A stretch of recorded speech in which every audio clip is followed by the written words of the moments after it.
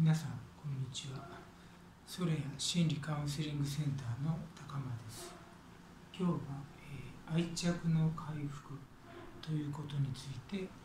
ほんの少しだけお話ししようかと思います、えー、この愛着というものは、えー、どういうものかというと、え養育者との間に、えー、だいたい2歳ぐらいまでの間に、形成される、生きていくために必要な安心感、えー、エリクソンはこれはあの基本的信頼感と言っていますけれど、えー、そういうものを愛着と言います。でこの虐待されて育った人とかはこの愛着形成ができなくて、えー、大きくなってきていますので日常生活でいろいろ、うまくいかないこととかたくさん体験されていると思います。でそういう方があのこういうカウンセリングルームにやってくるわけですけれども、えー、っとこの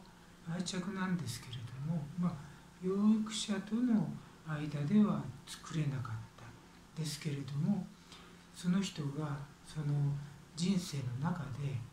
えー、近しい人と、えー、こういうものをもう一度作り直していくっていうことは可能なんですね。それゆえにこの愛着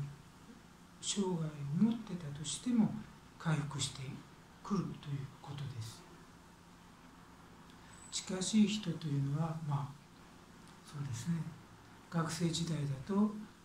まあ、親友とか先生とか、まあ、兄弟もそうかもしれないですね。あとはまあこういうカウンセリングルームの、えー、治療者、えー、そういうものがその愛着対象になっていきます、えー、そういう方との交流を通してこの愛着というのは確実に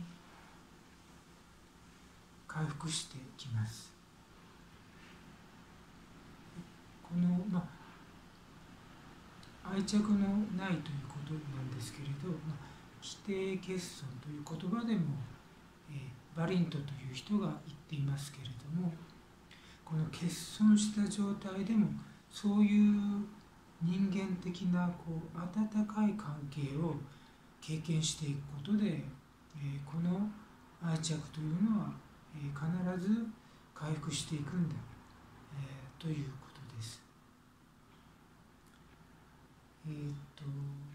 今日は愛着の回復ということで